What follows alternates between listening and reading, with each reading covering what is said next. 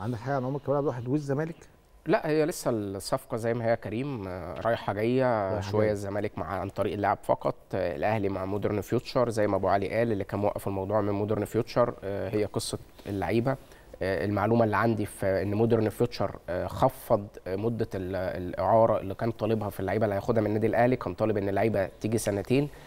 ففي مودرن فيوتشر قلل مده الأعارة دي لسنة ونص. لكن آه، النادي الأهلي بيحاول إن هو يخلص الموضوع آه، مودرن فيوتشر على حسب الكلام اللي اتقال إن الموضوع المفروض يخلص خلال كام يوم الجايين دول قبل ما عمر يسافر مع آه، منتخب مصر لكأس الأمم يعني. سؤالين مرتبطين ببعض. متى يرفع الزمالك ايقاف القيد؟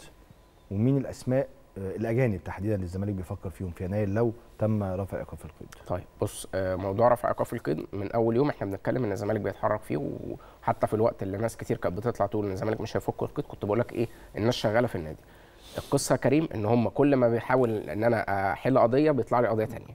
هم بدأوا آه، خدوا الهرم من تحت كده. خليني إيه آه، يعني آخد القضايا بالتدريج كده آه اللي هي العقود القليلة أو الغرامات القليلة فاشتغلوا على ده. آه، غرامة نضاي غرامة سامسون آه، في كمان شرط جزائي في في قصة تأخير آه، القسط بتاع نادي كاراكاس الفنزويلي 30000 دولار فبيحاولوا يخلصوا اللي هي الأرقام القليلة ال 10000 دولار وعش- ليه عشان أحاول إن أنا أخلص القضية دي لأن كل قضية أنت لازم تبعت للفيفا تقول له أنا خلصت القضية أهي وتمام فارفع لي في القصة دي يعني ارفع لي.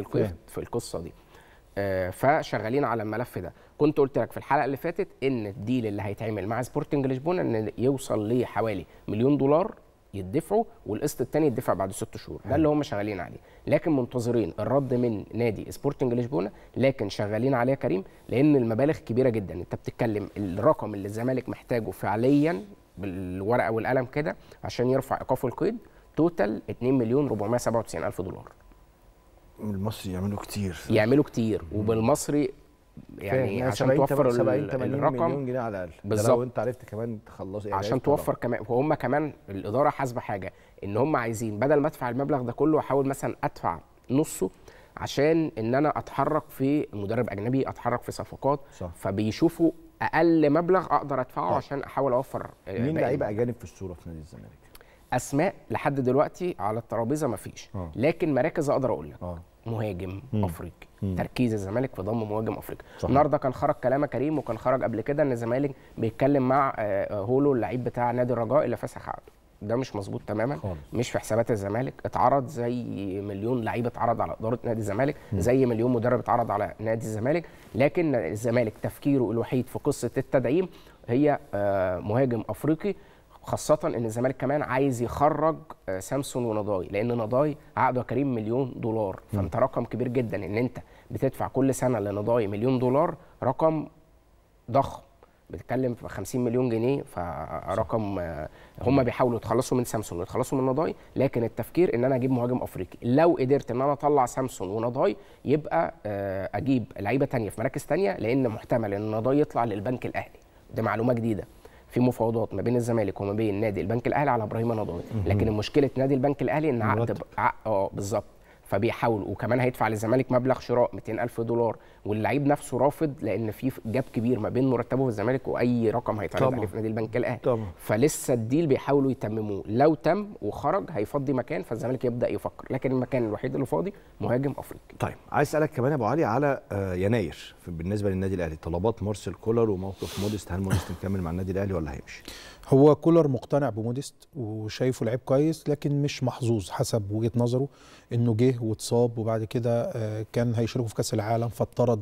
فلحد دلوقتي الراجل كلامه مع إدارة الكورة في النادي الأهلي إن أنا لو ما فيش مهاجم قوي أو حد آه، يعني تقدروا توفروه لي بإمكانيات معينة موديست مكمل معايا.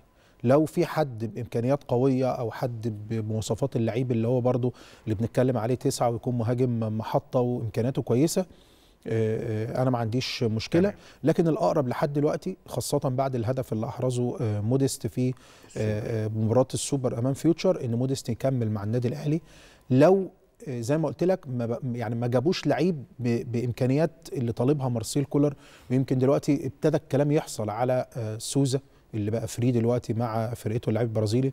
وجالي كلام إن الزمالك برضه مهتم باللاعب خاصة إنه. إنه free آه دي إمكانياته. اول مره اسمعها إنه الزمالك كمان مهتم بيه جالي آه جالي كلام إن هو الزمالك مهتم بيه خاصة اللاعب بقى free واتعرف خلاص في السوق المصري والناس بتتكلم عنه إن هو آه، لعيب كويس والأهلي كان عنده رغبة في ضمه.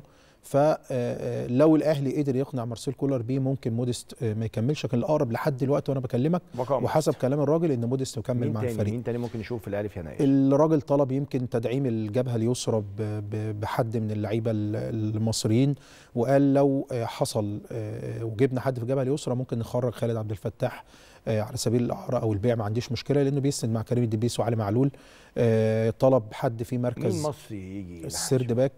يمكن الأقرب لحد دلوقتي أو ممكن ال- ال- اللي ظهر شوية في الصورة محمد شكري. محمد شكري يكون بعد. تجديد أو محمد حمدي آه، آه، إنبي. لكن آه، بعد تجديد فتوح وتجديد محمد حمدي آه، بيراميدز ال- الدنيا اتحصرت كلها يمكن في محمد شكري ومحمد حمدي إنبي وما تعرفش الأمور ماشية إزاي. الراجل طلب برضو مع آه، وسام آه، أبو علي وكهربا وموديست ضرورة التعاقد مع مهاجم مصري. والكلام هنا رايح بين آه، أوفا لاعب إنبي ومروان حمدي لاعب ال- المصري. فلحد دلوقتي برضو الموضوع ما اتحسمش والمفروض إن خلال الفترة الجاية الراجل تلقى وعد بإنهاء صفقة من الاثنين يبقى موجود في النادي الأهلي. وعلى فكرة مقتنع جدا بإمكانيات أوفا وشايفهم مهاجم كويس وطلب يعني طلب إدارة الأهلي ضروره التعاقد معاه أو لو ما حصلش بسبب آه، انبي ومغالاتهم المالية والكلام ده يبقى التعاقد مع مروان حمدي اللي آه، حسب معلومات المصري لسه عرضه للبيع. مع عرضه للبيع فعلا واخد فيه قرار نهائي. بالظبط. مش عايز أنا سألت أكتر من حد في المصري قال لي القرار النهائي يعني مفيش رجعة مش زي. مثلا موقف فتوح في الزمالك إنه ممكن يعتذر فيرجع لا هم واخدين قرار نهائي يعني في قصة مروان حمدي